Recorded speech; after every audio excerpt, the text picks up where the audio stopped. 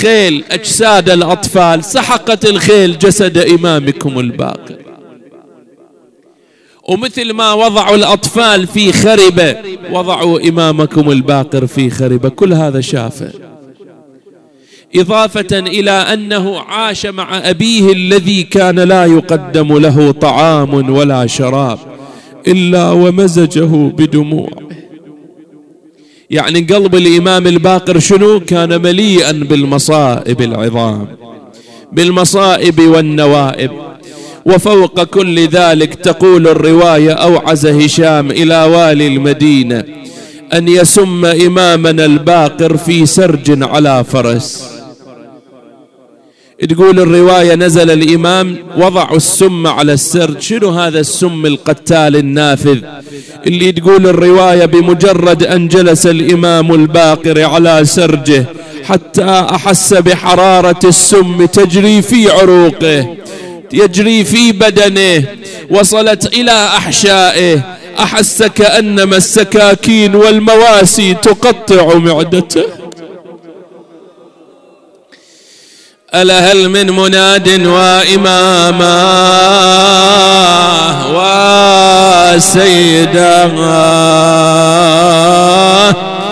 كأني بإمامي الباقر مسجى على فراش المنية. يرفع فخذا ويضع أخرى يقوم تارة ويجلس أخرى. واضعا يدا على بطنه ويدا على خاصرته وهو يئن أنينا يقطع القلوب. ألا هل من مناد وإماما. أنا ما أدري يا جماعة الليلة شلون واحد يقرأ المصيبة. إذا قرأنا مصيبة أمير المؤمنين ننظر إلى آلاف الزوار يحومون حول ضريح علي يا علي. إذا قرأنا مصيبة سيد الشهداء ترى الملايين تحوم حول قبة الحسين. إذا قرأنا مصيبة إمامنا الكاظم ترى ذلك الزحف إلى غريب بغداد. وإذا قرأنا مصيبة الرضا تجد خراسان تعج بالزائرين الليلة الليلة ما أدري يا شيعة. أكو واحد يعلق شمعة على قبر إمامنا الباقر. هم واحد يقعد يوجه بوجهه إلى الزهراء. يقولها مأجورة يا فاطمة. الله يرحم الدمعة والعبرها. ترى كله مسجل عند فاطمة. كله مسجلها. إن شاء الله ما نطلع الليلة إلا وحوائجنا مقضية. بجاه هذه حرقة القلوب على إمامكم. كأني بإمامنا الصادق عليه السلام جالس عند أبيه يمرضه يطببوه وهو يبكي وينتحب مناديا وأبتا. فتح الإمام الباقر عينيه قال ولدي امسح دموعك. ليش يا أبا؟ ليش أمسح دموعي؟ شلون أمسح دموعي وأنت ستفارق الحياة نبقى بعدك في غربة؟ قال ولدي أنا أفارق الدنيا مسجن على فراشي وأنت بجانبي. ولدي ولدي إن كنت باكيا فابكي على جدك الحسين. فإنه فارق الدنيا وشمر على صدره وهو ينادي وحق جدي أنا عطشان الباقر ينادي والدمع يجري من العين. خلي البكا يا ابني ولا تصفج باليد كل البكا ولجل الذي بالسيف شمري حز نحرا وأحسن. ولجل الذي داست عليه الأعوجية. خلي البكة ولا تصفج بإيد على إيد. لجل العليل اللي مشوا في رجله القيد ولجل الوديعة اللي دخلوها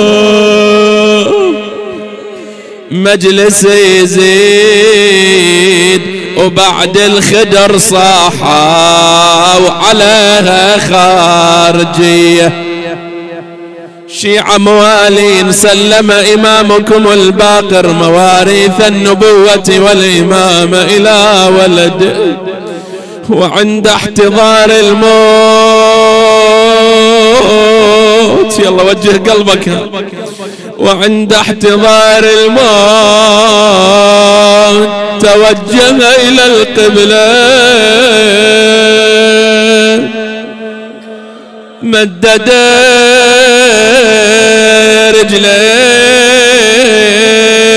رجليه وأسبل يديه غمض عينيه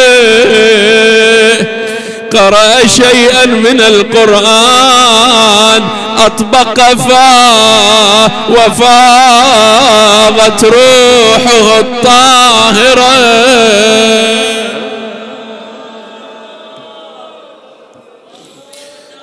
أين المنادي وإماما؟ صحب رفيع الصوت وسيدا. ضج أهل المدينة ضجة واحدة كل ينادي وإماما. ما مضت إلا ساعة إلا وجنازة الإمام محمول على الأعناق. يلا وياي هذه أبيات تحفظوها. شالوا الجنازة للبقيع شبول وسباع ومروا بتابوته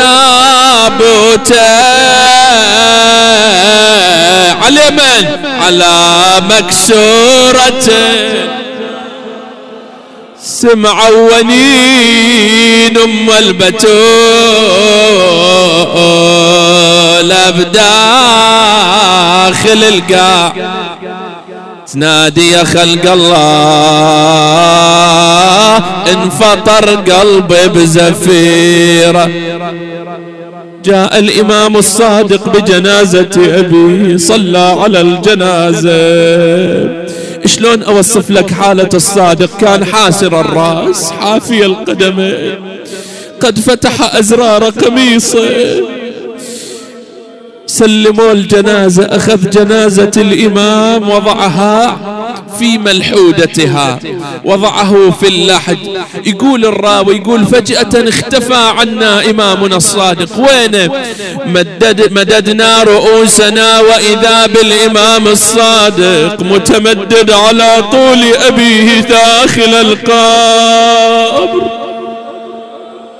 شو مسوي الإمام؟ ها قد فتح أزرار الكفين وضع فمه على خد أبيه مناديا أبا أبا في أمان الله.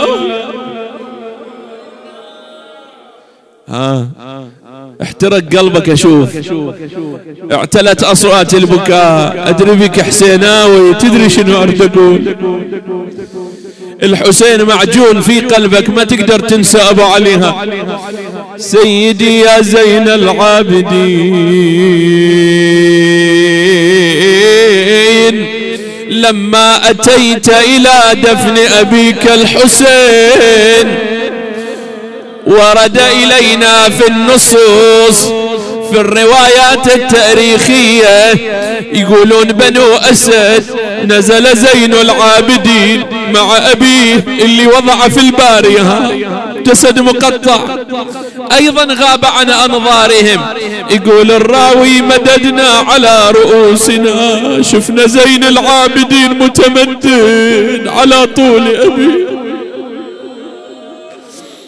لكن وين مخلي فمه مخلي على خد الحسين. ها الحسين راس جثة بلا راس. قد وضع فمه على عظم النحر الشريف.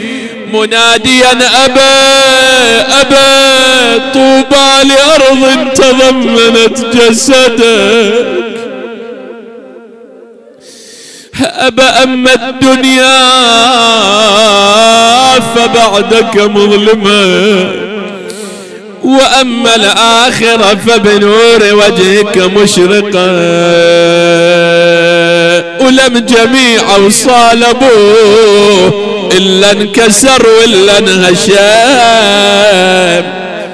حتى قطعت قلبه اللي استخرجوها بالسهم. ما بقى غير الكريم على الرموح يبرى الحرام ولفه نزل بقبره وظل يشم بمنحره. كلمة الدعاء اللي بعدها اللي بعد ما احترق قلبه وما جرت دموعه يسمع منها البيتين؟ وأسألك الدعاء والله يقضي حوائجكم ويعودنا وياكم. لما هم زين العابدين أن يخرج من قبر أبي. ها قلبه ما يطاوع زين العابدين. عينه على أبوه ورجله يريد يطلعها برا يريد يطلع من القبر. بينما هو كذلك وإذا به يسمع صوتا من النحر الشريف ولدي عليه والسدر ضيعي على صدري على صدري.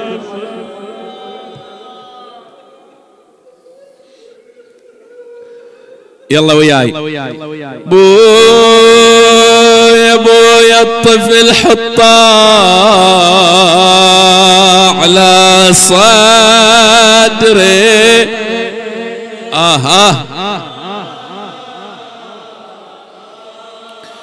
حط على صدري. وبرفج يا علي وبرفج حط نحر على نحري. لأن الرضيع مستخرجوه وقطعوا رأسه. وبرفج حط نحر على نحري تدري يا بغداد تدري.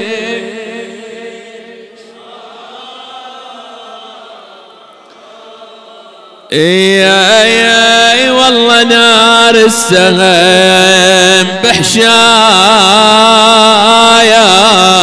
يا يا تسري. يا ميتا ترك الألباب حائرة. يا الله. اللهم صل على محمد وآل